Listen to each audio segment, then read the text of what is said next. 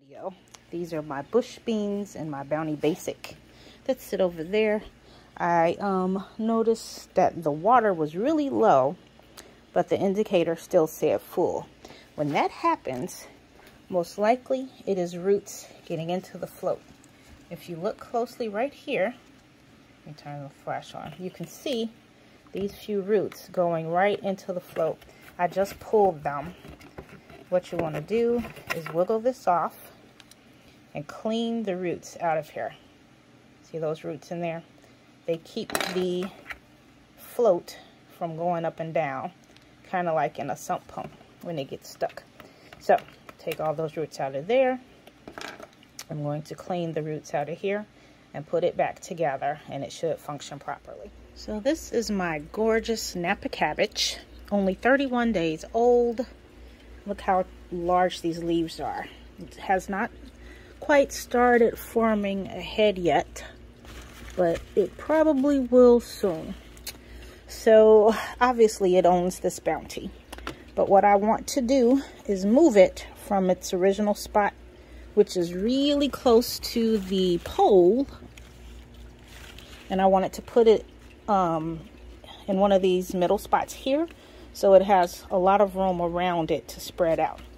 But as I was pulling this out, I realized this thing has a lot of roots, obviously. So let's look inside. Look at that. Look at how the roots have wrapped all around the pump. So this is what I was talking about and why it's important to sometimes trim your roots or at least check them and move them. Um, as far as I know, this pump is still working, but this can definitely keep a pump from working or it can keep your float from working back there. So I'm going to do a little cleanup here. Okay, so since I'm moving this and trimming, I'm just going to go ahead and very gently pull this out of here. There are so many roots that if some break off the bottom, it's perfectly okay. So right here, I'm just going to cut so I can move this aside momentarily. Okay, so now I'm going to go here inside the tank of the Bounty, get all these roots from around the pump and discard them. And I'm going to take the float off just to check and be sure there are no roots inside. It looks good. Put that back. Now sometimes when you take these off, the little float inside falls out too. On the newer versions, it actually says up or top on them so that when you put it back, you put it back the right orientation. Otherwise, your um, float won't work and the water level will not be properly indicated here. I'm going to check inside. Look at that. See that? Roots get all around. I'm just going to pull out what I can. This is a new Bounty, so the, the um, pump is pretty clean. But between plantings, or if you've been using your AeroGarden for a long time, you want to take this apart and actually clean inside. This looks good, much better than it was. I'll put this back. AeroGarden does spell, sell replacement filters for here because sometimes when you pull out a plant with those big roots like that, these will actually stick to the roots and get accidentally thrown away.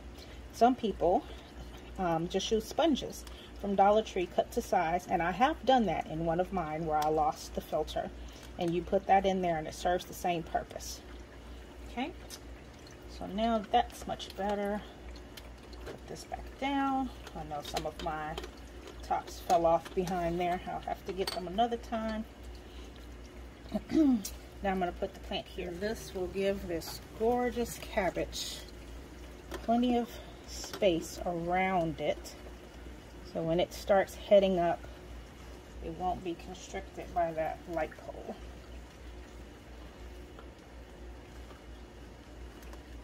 All right. Now what I will do soon is harvest some of these big outer leaves around here and cook them, which will make some airflow space between this and the plant next to it. I took off a branch from this tomato that was coming over this way for the same reason. So, looks good. Now I just need to top off this water because I let the water get pretty low since I knew I was going to do this. Put the caps on those empty holes because we don't want light to get in there and cause algae. And we are done. So on my cabbage, I moved it from one spot to the other. But let's say I actually wanted to trim my roots because they're taking over the tank.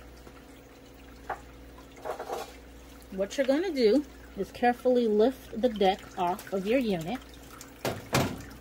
You can clearly see the roots in here and how long they've gotten and where they are.